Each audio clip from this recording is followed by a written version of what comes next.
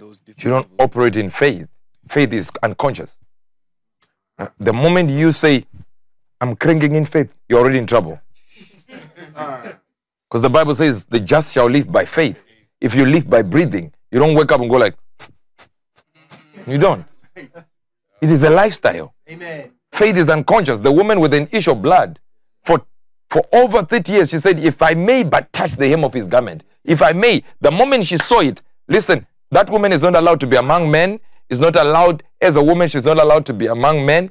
As a person with an issue of blood, she's not even allowed to be among people. And she went and grabbed the hem. That's why she went behind and she was in the middle there with her. She was unconscious that she was a woman. She was unconscious that she was she had a blood issue. She all she was concentrating on, like a mad woman, she went and grabbed the hand, the hem of the garment. What was she trying to do? She wasn't thinking about it. She confessed it for too long. That everything else, she became unconscious of the environments that that were obstacles to a miracle. So faith should be a lifestyle. Hallelujah. This is why I say faith is the lifestyle of the rich and famous in Christ. That's my definition of faith.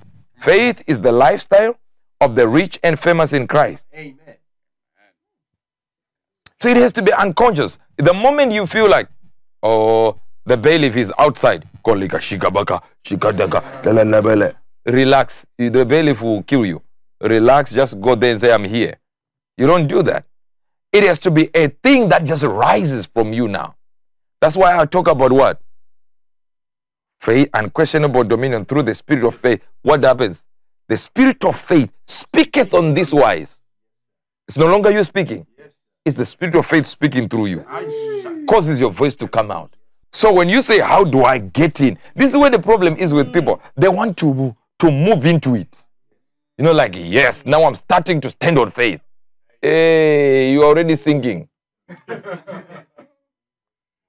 That's hope you're dealing with. And hope will give you a large smile, huge smile from ear to ear while the Titanic is sinking. You, you die with a good attitude. If you try to crank faith when you're in trouble, you're already in trouble. So let it be a lifestyle, something you. That's why it says, let it be done according to the measure of faith. Don't pray for cancer if you can't pray for pimples to stop. Remember, faith cometh, it doesn't stack up.